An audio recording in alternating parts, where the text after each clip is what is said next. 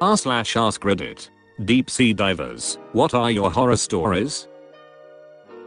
Diving the day before a hurricane on a small South Pacific island. Out of nowhere a black and white sea snake, venomous, wrapped itself around my arm. Apparently this happens from time to time before major storms. They can sense it and look for things that are heading towards the shore so that they don't have to put in so much effort to get out of the sea. As soon as I was in the shallows it uncurled and headed up the beach where it hid under a breadfruit tree. I thought I was going to get bitten to death by a snake at sea. Turns out I was just a taxi for a very calm but rather rushed reptile you guys were in it together. He wouldn't want to kill his only ticket to get the duck out as quick as he can, so it makes sense. Plan B, bite guy and ride corpse into the shallows. That's a fail plan. Corpses don't swim well. And how much experience do you have riding corpses to shore? Not judging. I once had diarrhea at 100 feet. That sucked. It was amazing how warm it made me at depth, but was a nightmare to clean up. I vomited at my own stench, maybe from the flu. Being wrapped in a warm suit of my own diarrhea 100 feet underwater is now my greatest fear. So deep sea diver here. Shark attack. Friend of mine had a bad hangover and started puking on a dive. Turns out you can just puke right through a regulator. On a side note, the vomit can really attract fish. And suddenly become the life of the party on the reef. The only scare I've had is some jackass in a yacht cruising through our dive location at full throttle. You could hear the boat coming for a solid minute or two before it flew over our heads. Our boat had a dive flag on it, and we had a buoy with a dive flag on it. They didn't even slow down barracuda, sharks, rays, manatees, dolphins. All cool. Humans are way scarier. I work as a paddling coach on lakes. The number of times I've attempted to gesture at a pleasure craft for them to stop, only to have some dude in cargo shorts wave back like an idiot is higher than I can count. Ignorant question. What could go wrong in that case? I can understand if there are any wires or tethering to you guys, it could get tangled to that yacht. Are you referring to them? Will the currents affect you or interfere with your session? Do all the people on the boat dive or one will be there? I mean I thought you're worried about your boat going adrift. Finally, aren't there any laws to find them, or since they are millionaires, rules don't apply to them? It is a hazard for surfacing divers. A passing boat can seriously injure or kill a diver especially as divers are hard to spot when they are about to come up. The captain will usually stay up and maybe some divers for rescue and or people that are taking surface intervals. Free dive to about 160 feet in Dean's Blue Hole in the Bahamas. It's where a lot of the freediving world records are set. Super neat place. Google a picture. Anyway I'd never really been past 100 foot freediving, but this was the perfect place to do it. No current, there's ropes to keep you straight, and allow slight pull back up. Scary part is that you become pretty strongly negatively buoyant after like 60 feet, so you're basically hauling ass down while doing nothing and using very little air. So I'm dazed out a bit feeling good and counting the lines that mark depth and all of a sudden feel pressure like my trachea is going to collapse and wake up and realize I've counted to the line that's around 160 feet or so. Very scary moment because I wasn't sure if my body could take the depth or if I had gone too far and wouldn't have enough air to get back up, which is a much slower and more air intensive process. I've been scuba diving a few times and really enjoy it, but the thought of this kind of diving makes me want to throw up. Free diving is really fun coming from a scuba background. There's far less gear, so you feel much more maneuverable and free. Haha, it's just learning to breathe hold. That's the learning curve. Yeah just learn to hold your breath, or die. That's the moment when you start to panic, and that's the skill in freediving. Getting to 160 feet and your brain is on the edge of panic, but just relaxing and saying back quote I'll be fine. The majority of freediving is mind over matter. You did well. I did 40m slash 130 feet in Grand Cayman in similar circumstances, and it was just awesome. My old freediving instructor reckons I've 200 foot slash 60 meters in me. I may try it one day. Night diving is incredibly creepy.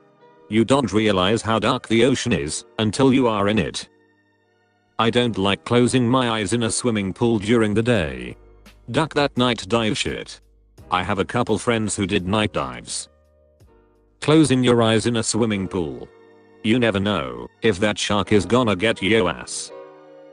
Jaws did a number on me as a kid in the 80s. Same with Freddy. I was an insomniac as a kid. I saw Jaws when I was 6 while on vacation in Miami. I've been terrified of the ocean ever since. I love the beach and being near the ocean, but you couldn't pay me to go on a cruise and I won't go in the ocean past my knees. Saved someone from drowning while scuba diving. Person had an epileptic seizure at 85 feet of water in a pitch black cavern that I was diving also. I was hovering above just watching the flashlights move about when I noticed one flashlight not moving. I swam down and was met with the other diver with no regulator in their mouth, eyes open and just on their knees. The diver's buddy was next to them and in complete shock to what was going on and was not assisting whatsoever. 15 years of diving and instructor training came over me like it was second nature. I thought her regulator just came out, so I popped mine out and offered it to her. That when I noticed she had done mentally checked out. I popped my second regulator in my mouth and attempted to put my first regulator in her mouth, but her teeth were completely clenched. I then pressed the purged button to get air into her mouth and noticed her cheeks moving, so I know air was getting in there. That was good enough for me. I then grabbed her under her arm and get the regulator flowing in her mouth and swan to the opening of the cavern, and then up over 60 feet to get her to the surface. One on the surface, did everything I was trained to do, inflate BC, dumped her weights, got her on her back, and started towing to land. As I'm towing her and she is regurgitating all the water she swallowed and inhaled, it seemed like gallons of water. Got her to land where other divers assisted me in getting all her gear off she was breathing fine and alive, but in shock for a while and slowly came around like nothing happened. We were very lucky that we were only 10 minutes into the dive, or for sure we would have both been bent and spending time in a hyperbaric chamber. The crazy thing is she didn't tell anyone she had epilepsy, and when we later reviewed her consent form she checked off no to epilepsy, I put myself at risk shooting up to the surface like that, but if I came across that situation again I would not hesitate to save someone's life. Did she know she had epilepsy? I know more than one person that has dive pressure slash exertion as a seizure trigger, and one that discovered that the bad way. A 60 foot cavern dive is not beginner level. She must have had a few deep dives under her belt before doing this. Well, here is my story. I was diving in a local pond with a group of much more advanced divers, cave divers, than I, just an advanced certification at the time. I'm leading the dive, as to get used to pressures and responsibilities of heading the procession, they are mentoring me. It is a Texas puddle, visibility 10 feet maximum, not too deep, maybe 25 feet. The known horrible visibility makes it impossible to navigate by compass. We follow a line, string, put by other divers. These lines go from one sunken item to another. So, I know I'm about to hit a small sunken boat, don't remember which one, there are a few similar in a row in a same state of decay. So, I'm first in the group, I get to the boat, and see someone's black army boot sticking out from the inner quarters. Curious thing is, it looks somewhat new, not like items you find on the bottom. Hard to see, too much muck in the water. So, I touch the boot, thinking it is by itself, but it won't lift, like it is attached to something heavy. I put my hand further in, and feel the leg continuing out, pants, the calf, and I see the second leg now. Duck with a big letter F, right? I turn around and show a sign for the emergency ascent to the group behind me. Everyone has a sour face, no one wants to surface, but it is a rule that, if one says up, others in a group must abort, no questions. They wanted me to explain with signs why, but what is a diver sign for a cadaver? I feel like I rushed toward the surface, even though trying to stay calm and take time. So, we are on the lake's surface, I have this adrenaline rush, can't breath enough. So, I tell them there is a body down there. I see rolling eyes from everyone, once they see I'm serious. A fun bunch, right? So, I describe in detail what I saw. We go down. I don't lead anymore. We make a group search pattern for the line. But once we locate it, we don't know if we should go forward or backwards, as there are a number of boats on the line, and who knows in which the body is in, and how far we drifted, while talking it out on the surface. Well, we find all boats, before finding the original one, of course. So, our customary leader goes into the cabin of the boat and we wait. I'd say he was rather courageous at this point, went right in. Then he emerges from the cloud of muck and tells us all to surface. So, gluing information together from what we learned later on. Turns out the police or some other agency had a body recovery training in the same lake the same day. When they went for lunch, they stuffed their fully dressed anatomically correct rubber doll in one of the sunken boats for a few hours for safekeeping. Well, I died a little that day, the Byford dolphin diving bell accident. Long story short, some divers came up from an extremely deep dive at an oil drilling rig, and someone ducked up the decompression procedure and opened the door while the chamber was still pressurized to depth. The four divers were instantly killed, and the one nearest the door literally exploded, and they found bits of his body all over the oil rig. So, next time someone tells you that people don't explode in decompression chambers, like you see in the movies, tell them they're wrong. Geez one of the guys had all his insides literally sucked out through a 24 inch gap in the door. Glad they all died instantly and didn't have to experience that consciously. It's worse than you think if you read closely and pay attention to the anatomical jargon. It wasn't a 24 inch wide gap, it was 24 inches long and probably about 2 inches wide. It ripped him entirely in half from his neck to his asshole with everything in between being shot like confetti over considerable distances. I did a shipwreck night dive on New Year's Eve one year, and it was spooky as hell. 80 feet down, really small plane, Visibility was obviously not great, I've only done this one night dive, so these slow moving fish would come looming out of the dark. Scarier to me was getting back on the boat, because it got really stormy. You'd be looking up at the ladder, and it'd come crashing down right next to you. The waves were crazy. My brother got hit by the ladder, but not too badly, and we all managed to get back okay. I took an advanced scuba class in college, and one of our dives was a night dive. It was in one of the Great Lakes, so not a tropical place with lots of fish.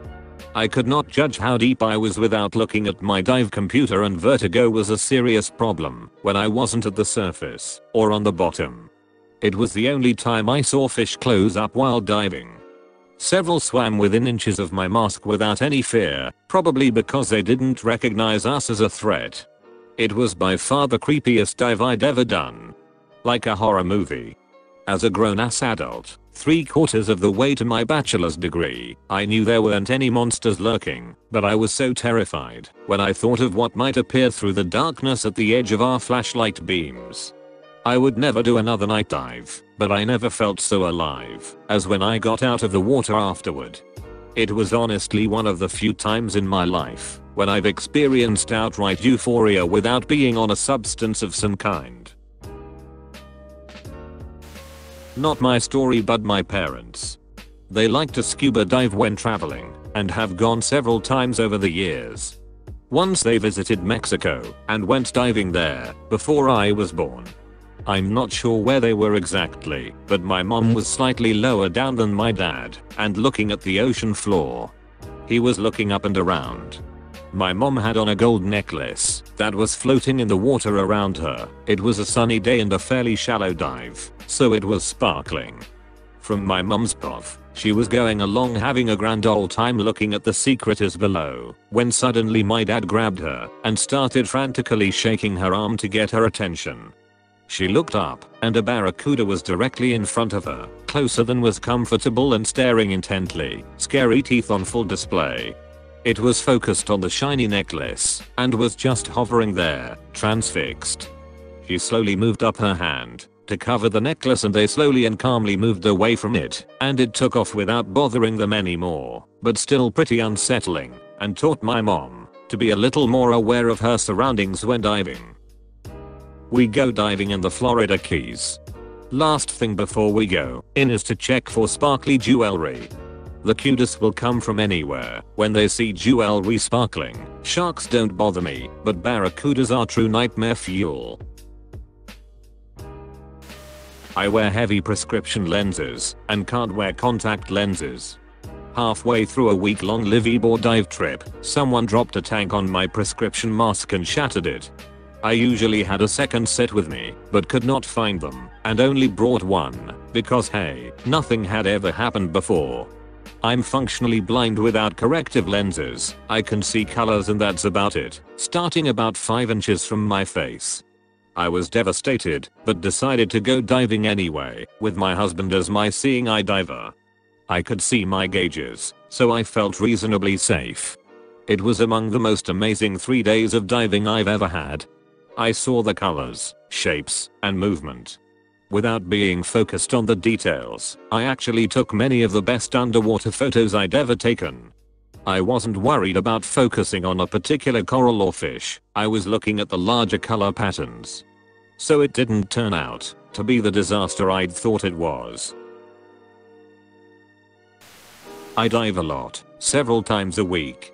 My area has a lot of theoretically dangerous things, sharks and barracudas, morays and stingrays, blue-ringed octopuses, cone snails, box jellies, siphonophores of all kinds, sea snakes, stonefishes and scorpionfishes, venomous catfish, crown of thorns starfish and various sea urchins that can hurt you in several different ways, titan triggerfish, and so on and so on. But only one thing has ever got me. Twice. Are you ready? Clownfish. Like Nemo. They are territorial and brave, and will get in your face if you're near their anemones. I usually respect their space, but I was distracted watching something else a couple of times, and turns out they will actually bite if you don't leave their space fast enough.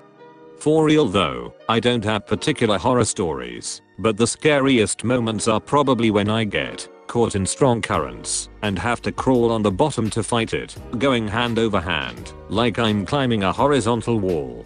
Despite what a lot of people tend to think, especially looking at the daunting list of dangerous animals in my area, sea critters aren't your problem. You leave them alone and it's fine. Sea conditions like waves or currents, and above all human error, are the real killers. I grew up in Oz. When I was 15, I took the family boat out and dove the reef myself to clear my head, mistake number 1. I was down at a depth of about 28 meters, 90 feet, when I was only rated for 60 feet. Mistake number 2. Whilst diving, I spotted a 3.5 meters mako shark coming right at me.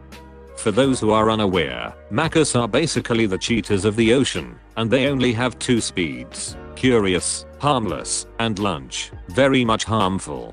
This guy was in lunch mode, so I hovered, as I had been trained to do, as there would be no way for me to outmaneuver it or escape it.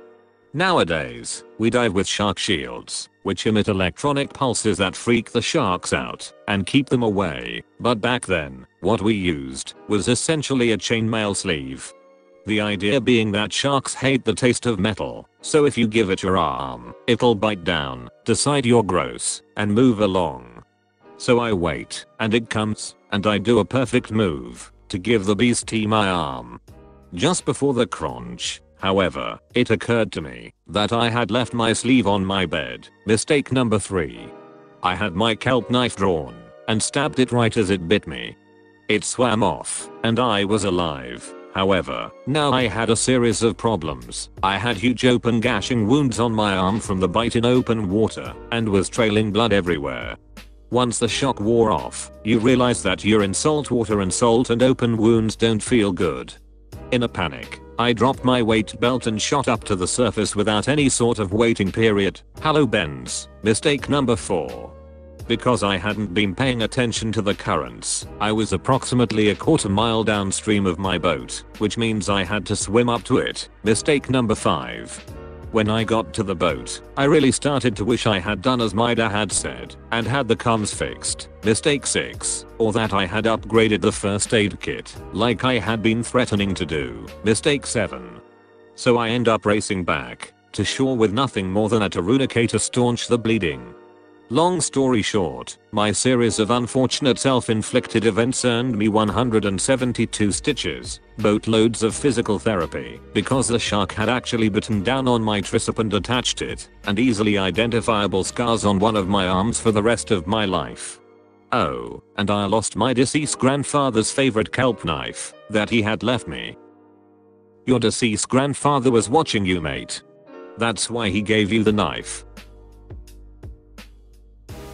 My biology teacher told us that she once was swimming in the south of the Philippines because she was trying to find an elusive seahorse and she went quite deep at night when they are more active and she got attacked by a shark and her team got out fast. The next day they found a turtle that was bitten in half shell included that was pretty big and it's it's supposedly the last time she went diving in that area.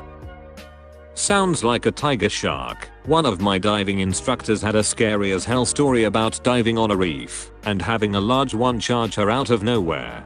She turned before it hit and it bumped her air tank as it veered to the side. Needless to say she got foe as soon as she could after that.